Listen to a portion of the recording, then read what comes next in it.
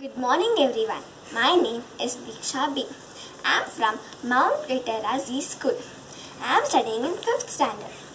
Today I am going to tell you a story of what if I had a superpower of being invisible. It was a sunny day. I was returning from the museum. I still can't understand what just happened. All I remember is that the school took us to the car museum. In the car museum, I saw a beautiful car and I touched it. I did not see the do not touch board which caused loud noises and the guards rushed towards me and I actually turned invisible.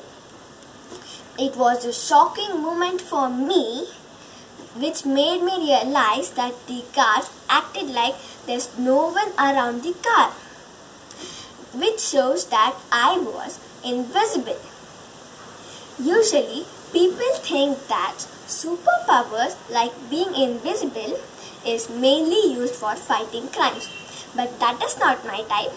I use my power to protect myself and help people around me from neighborhood problems. Also prank my friends without revealing my superpowers. Thank you.